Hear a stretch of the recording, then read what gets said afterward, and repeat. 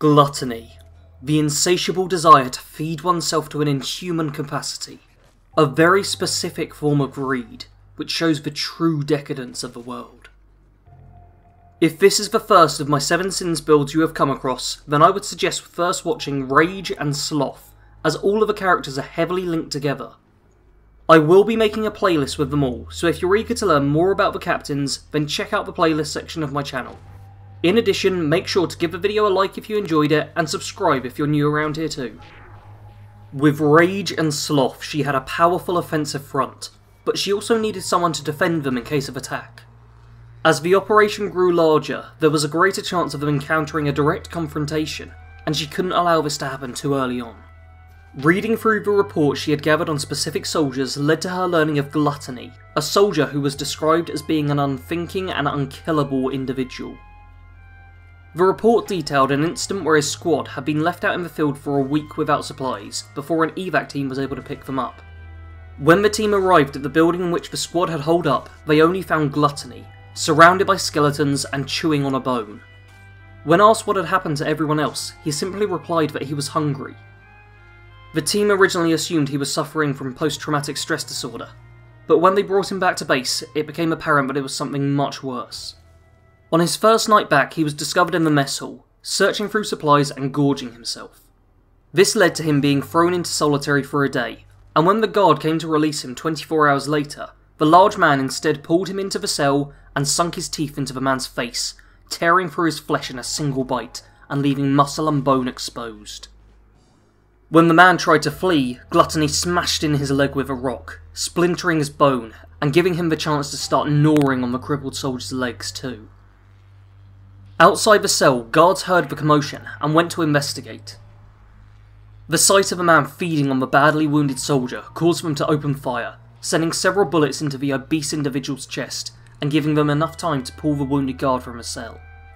The bullets seemed to do little more than distract Gluttony though, and before the guards were able to fully shut the door, he managed to grab one of them by the arm and begin dragging them into the dark cell. The other guards helped pull the man away from the beast, dislocating his soldier in the process, but saving him from a much worse fate. Bolting shut the room, the group of guards informed command of the incident, and an execution order was given immediately. The next morning, a firing squad appeared outside of Gluttony's cell. The door was swung open, and a volley fired into the darkness. As with before though, bullets seemed to have little effect on the abomination residing there. Instead of falling down and dying, the man was able to dart forwards and clasp his greasy hands around a member of the firing squad, pulling him back and sinking his teeth into the man's neck, causing blood to coat the stunned soldiers. The door to the cell was immediately rebolted, and the firing squad fled, leaving their remaining member to his fate. Apparently, High Command was still trying to work out a safe way to eliminate the individual, but she had her own ideas for him. When she freed him from solitary, she made sure to bring plenty of unwanted soldiers with her, letting the beast tear them apart and feast on their flesh before even attempting to speak to him. With a full belly, the man was surprisingly pleasant, constantly giving her praise for bringing him food. Controlling him was not only easy, but even gave her an additional way to dispose of anyone who tried to stop her. The man's greed for feasting was beyond even her own expectations, though, and when push came to shove, the other captains were able to convince him to betray her, simply for the promise of an even greater feast. Her attempt to kill him and intimidate the others was unsuccessful, leading to her just being perceived as even weaker by them. It also meant that Gluttony was able to escape, hiding away in Boston, and sneaking away during the night in search of anyone to satisfy his hunger. Gluttony has Strength 5, Perception 1, Endurance 10, Charisma 1, Intelligence 1, an Agility of 6, and a Luck of 5.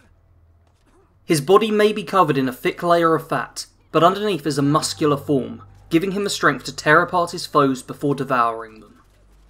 Perception is the first dump stat of the build. We focus primarily on melee based combat, so accuracy isn't of much concern to us. Endurance, however, is our primary stat, sitting at 10. Gluttony is near to immortal, his thick layers of fat working similar to armour, shielding him from attacks and protecting anything vital.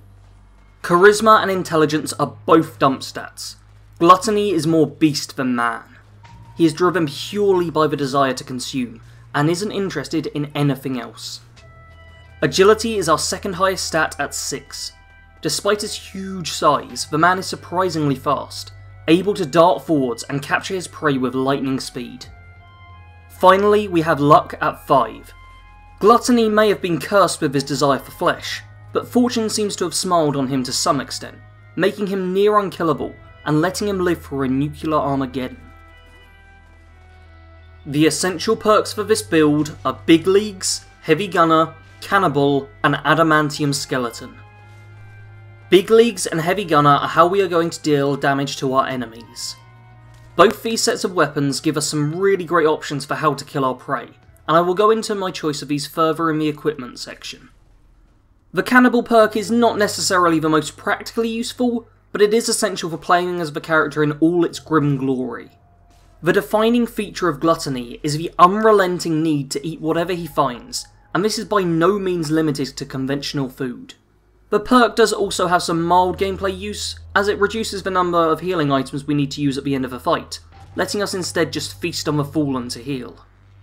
Last and essential is Adamantium Skeleton. We can't afford to become crippled, as this can slow us down and let our enemies concentrate fire upon us.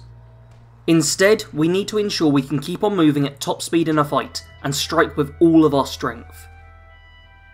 The recommended perks of the build are Blacksmith, Life Giver, Bloody Mess, Action Boy, and Moving Target. Blacksmith is a fairly simple one. We want to have a large variety of melee weapons available to us, and this perk helps ensure they will all deal plenty of damage. It also helps us to add modifications that give us a chance to cripple, something very fitting for this build. The Life Giver perk is a great one for an early boost in our defensive capabilities, and the constant regeneration also helps to represent Gluttony's unnatural metabolism, healing him beyond human means. Bloody Mess is mostly helpful for a flat damage boost, but the hideous effect fits in well here too. We want to be turning our enemies into bite-sized chunks if we have the chance to. Action Boy and Moving Target work well together to let us easily close distance between enemies. We want to sprint towards them, head on, before laying into them with a flurry of attacks, and then repeating with the next. These perks help us to do that, by giving us a much higher refresh rate of action points and bonuses to sprinting. Finally, the role-playing perks are Lead Belly, Ghoulish, Solar Powered, and Idiot Savant. Lead Belly is a perk that I've never found particularly helpful, but it does at least add to the nature of the character. Eating should be seen as purely positive when playing as Gluttony, and Lead Belly removes one of the biggest downsides to eating food in the game. Ghoulish works well to represent the inhuman nature of the build, signifying that the creature that is gluttony is barely able to qualify as a human being. Solar powered is actually a fairly powerful perk, but I've put it in the role playing section as it really isn't needed that badly for the build. The first rank is certainly helpful and I advise getting it early on, but the second two feel more limited when playing. Last of all is Idiot Savant. This is a 1 intelligence build, so don't expect to level up too quickly without this perk. Factions should be of a secondary concern when playing as Gluttony. If you're well fed, then feel free to be nice to anyone you meet, but otherwise focus purely on finding more to consume. I personally didn't use any companions when playing, as I feel that Gluttony works a little better on his own, Travelling with someone else would just tempt him to eat them while they weren't looking. If you do want a companion though, then go with Strong. Affinity will build with him at a staggering rate thanks to the Cannibal perk, and he also sometimes gives you raw meat, something that would please Gluttony to a great extent. The main weapons of this build are the Admiral's Friend, Sergeant Ash, and any gruesome melee weapon that looks good for tearing the flesh off your foes. I personally quite enjoyed using the fish catcher for some really powerful strikes, but I would recommend keeping your eyes open for any legendary drops of melee weapons. Admiral's Friend will work as our long range weapon, allowing us to skewer out enemies in a single shot, and Sergeant Ash is a closer range weapon for dealing with large groups of enemies or particularly strong ones. This unique flamer will cripple our foes and cook them alive for us, giving us a nice warm meal every once in a while, The armour for Gluttony is a mismatched suit of metal armour over the top of a harness. I wanted it to look like Gluttony wasn't focusing too much on keeping himself protected, while still giving the character some resistances and showing off his mass. This was the best mix I was able to come up with, but let me know in the comments if you have any other armour ideas you're planning on using with the character. Combat with Gluttony is fairly simple. Charge in and butcher your enemies before devouring them. Even on the higher difficulties, you can win most fights close up. If you do need to keep your distance, then skewer them with Admiral's Friend or barbecue them with Sergeant Ash. Switch it up as you see fit, but it's unlikely you'll have to thoroughly think out most engagements unless you're playing on the highest difficulties. That being said, keep an eye out for Suiciders, as they were the only thing that successfully killed me when I was playtesting, and they can be a real pain for this build if you're caught unaware. You'll want to regularly be using cooking stations with this build, crafting any powerful food you can. The Far Harbour DLC in particular adds a ton of great recipes for helping out the character, so make sure to take a look at them once you head over there.